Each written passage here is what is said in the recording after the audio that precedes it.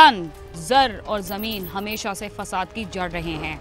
और अक्सर और बेशतर ये वजूहत लोगों में बदमजगी का बायस होती हैं। और बाज़ औक़ात बात इतनी आगे चली जाती है कि गालम गलोच और कत्ल गारत तक बात पहुँच जाती है। कसूर में एक ऐसा ही अफसोसनाक वाक़ पेश आया, जब ज़मीन के तनाज़े पर रिश्तेदारों के दरमियान फायरिंग के वाक़े में तीन अफराद हलाक हो गए।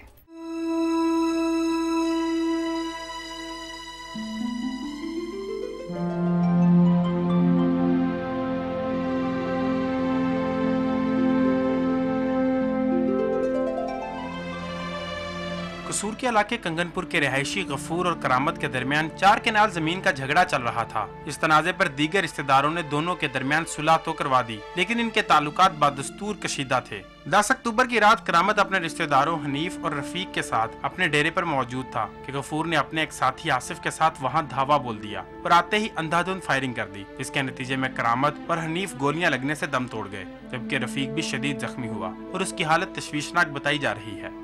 गफूर और आसफ फायरिंग करके फरार हो ही रहे थे कि डेरे पर मौजूद करामत के गनमैनों ने भी इन पर फायरिंग कर दी, जिससे गफूर को दो गोलियाँ लगी और वो हलाक हो गया, जबकि इसका साथी मौका से फरार हो गया। मकतूल के रिश्तेदारों का कहना है कि उन्होंने कई बार इन दोनों को समझाया था, लेकिन कोई भी इनकी बात सुनने के लिए तैयार नहीं था। कल आते भैने अज ना आते बंदे इकट्ठे कर दे फायरिंग कर देती मेरा भाई, मेरा लड़का ये पट्ठे लेते रेड़ी आया गफूर ने फायर मारा, मेरे भाई ने छेती ਭਾਈ ਤੇ ਜੱਫਾ ਪਾਇਆ, ਛੇਤੀ ਨਾਲ ਜੱਫਾ ਪਾਇਆ ਤੇ ਉਹ ਗਫੂਰ ਜੱਫੇ ਜਾ ਗਿਆ ਮਾਰੋ ਜਿਹੜਾ ਆਸਫ ਬਾਬੀ ਹੈ ਜੀ, ਉਹ ਵੰਗਾਰਾ ਆਇਆ ਸੀ, ਉਹਨੇ ਮਾਰੋ ਫਾਇਰ ਮਾਰਿਆ, ਬ੍ਰਸ਼ਟ ਮਾਰਿਆ। यकीन के लवाहकीन का कहना है कि हमने इस मसले के बारे में पुलिस को भी मुतला किया लेकिन पुलिस ने भी बात सुनी अनसुनी कर दी। दूसरी तरफ़ पुलिस ने इस बात की तरदीद की कि वाक़े से पहले इनसे किसी ने रबता नहीं किया था। पुलिस के मुताबिक दोनों पार्टियों के खिलाफ मुकदमा दर्ज कर लिया गया है और मेरिट पर तहकीकात की जाएँगी। ये शामकोट कोना में बर्डर हुए हैं। दो पार्टियाँ एक दूसरे के अज़ीज़ थे ये। कोई चार कनाल ज़मीन का इनका कोई इशू था तो वो इसलिए आनन फानन हुआ सब कुछ। इनका पहले भी कोई थाने में कोई नहीं मेरे पास कोई नहीं था कोई किसी किस्म का कोई दरख्वास्त वगैरह नहीं थी। कोर्ट में चलता होगा उसका नहीं अब इन ताला हम मेरिट पे करेंगे जो भी होगा। और मेरिट इंशाल्लाह नज़र आएगा डी मेरिट नहीं होगा। दोनों के बंदे मर्डर हुए हैं ना एक दो मर्डर हो गए एक एक हुआ और एक शदीद मजरूब है। उधर भी जाना है हॉस्पिटल में, पोस्टमार्टम के लिए आए, इंशाल्लाह ताला, ठीक हो जाएगा। चंद रुपयों की ज़मीन की खातिर एक दूसरे की जान लेने वालों को शायद ये नहीं पता था कि वो तो इस दुनिया से चले जाएँगे, लेकिन ये ज़मीन का टुकड़ा यही रहेगा। कैमरामैन मुर्तजीज एजाज और साथी रिपोर्टर मेहर शफीक के साथ गालिब अब्बास, समा, कसूर।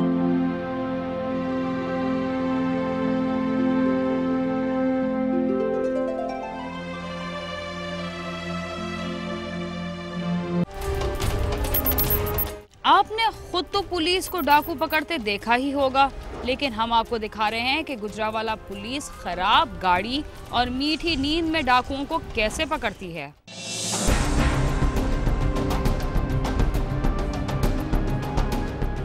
ये गुजरावाला की वो पुलिस मोबाइल है, जिसमें पुलिस के जवान डाकुओं को हथकड़ियाँ लगाकर मेडिकल टेस्ट के लिए सिविल अस्पताल लेकर आए हैं। लेकिन जब वापसी का मरहला आया तो पुलिस मोबाइल ने चलने से इनकार कर दिया। लेकिन इन होनहार पुलिस एहलकारों के पास हर चीज़ का हल मौजूद है। डाकुओं की हथकड़ियाँ उतारी, खुद मोबाइल में बैठे और धक्के लगवाना शुरू कर दिए। लोगों ने ये मंजर खुद देखा और हैरान रह गए। शहरियों का कहना है कि पुलिस मोबाइलों को कैदियों और मुलजमान से धक्के लगवाती रही तो डाकुओं को कैसे पकड़ेगी? गाड़ी को स्टार्ट करें धक्का लगा के या मुलम पकड़ना अगर दौराने सफ़र गाड़ी खराब हो जाती है तो मुलम कहाँ जाएँगे? अगर वो भागे तो ये आपने इतने बड़े पेड़ है ये कैसे नहीं पकड़ेंगे? जब मुलम पकड़ने जाते हैं तो उनकी गाड़ियाँ बंद होती हैं धक्के लगा रहे होते हैं। ये भी गुजरावाला पुलिस के अहलकार हैं जो सिविल अस्पताल के बेड पर सोते हुए मुलजमान को गिरफ़्तार कर रहे हैं। लेकिन शायद इन्हें नहीं मालूम कि यहाँ कोई और भी इनकी फ़र्ज़ शनासी देख रहा है। S SP headquarter Ali Javed ने महज ये कहकर जान छुड़वा ली कि गाड़ियों की मेंटेनेंस के लिए हुक्म जारी कर दिया गया है। हैं, हर गाड़ी को देख रहे हैं कि उसमें क्या इश्यूज़ हैं, क्या प्रॉब्लम्स हैं,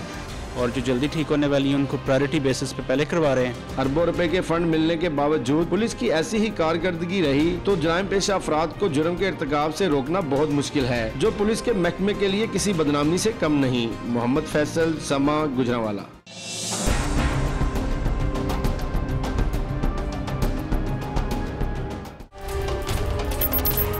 देहातों में छोटे जमींदारों को जमीनों पर जाने में अहम मसला रास्ते का होता है, क्योंकि जमीनें साथ साथ होने की वजह से उन्हें एक दूसरे के खेतों से गुजरना पड़ता है।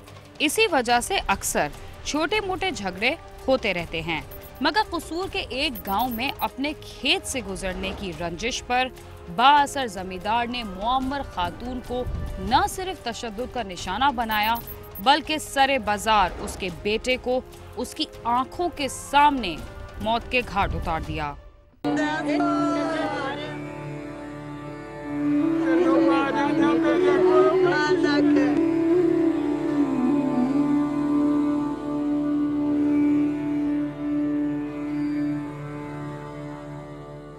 कसूर के नवाही इलाके डोलेवाला का रहायशी। सरदार खान जमीनों पर मेहनत मजदूरी करके अपने घराने का पेट पाल रहा था। उसके दो बेटे और चार बेटियाँ हैं। सरदार खान अपनी जमीनों पर काम के लिए हमसाए हैदर खान की जमीनों से गुजर कर जाता था, जिस पर अक्सर उनकी मामूली तलक कलामी भी होती रहती थी। कोई दूसरा रास्ता ना होने पर सरदार खान उसकी बातें सुनने पर मजबूर था। एक रोज सरदार खान की बीवी और बेटा नवाज़ खान जमीनों पर काम करने के लिए जा रहे थे। जब वो हैदर खान की जमीनों से गुजरे तो हैदर खान और उसके साथियों ने दोनों माँ बेटे को गुजरने से रोका और तल कलामी पर दोनों को तशद का निशाना बनाकर जख्मी कर दिया। माँ बेटा मुकदमा दर्ज कराने। थाना सदर गए, मगर पुलिस ने मुकदमा दर्ज ना किया तो वो डीपीओ कसूर के पास फरियाद लेकर चले गए, जिन्होंने मकामी पुलिस को कार्रवाई का हुक्म दिया। गरीब आदमी है, लड़ झगड़ तो सकते नहीं। उसकी ही सुनकर चुप हो जाते थे। उसने अपने साथियों के साथ मिलकर मेरी बीवी और बेटे को मारा। दोनों जख्मी हो गए। पुलिस भी उनकी अपनी है। पुलिस वालों ने मुकदमा भी दर्ज न किया। मेरी अम्मी तो वीर लगे जाते ने।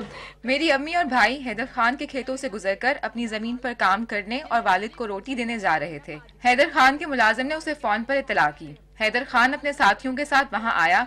उन्होंने डंडों से मेरी अम्मी और भाई को मारा। मेरी अम्मी भाई को बचाने के लिए उसके ऊपर लेट गई। जालिमों ने डंडे मारकर इसका घुटना तोड़ दिया। मुकदमा दर्ज करवाने थाने गए, मगर मुकदमा भी दर्ज ना हुआ।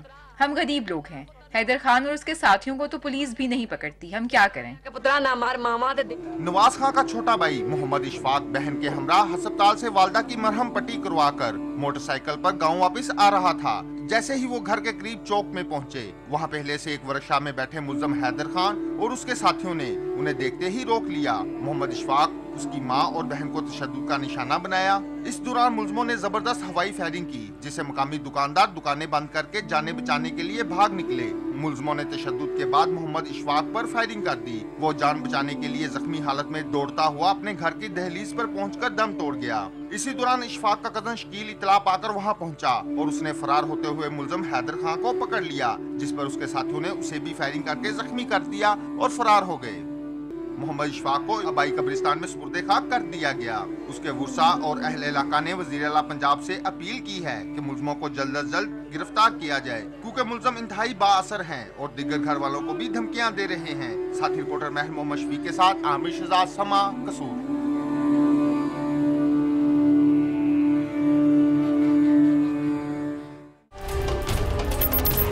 लाहौर के मकामी सहाफ़ी को नामालूम अफराद ने छुरियों के पै दर पै वार करने के बाद बेदर्दी के साथ हलाक कर दिया। वर्षा अपने प्यारे के लिए इंसाफ का मुतालबा करते रहे।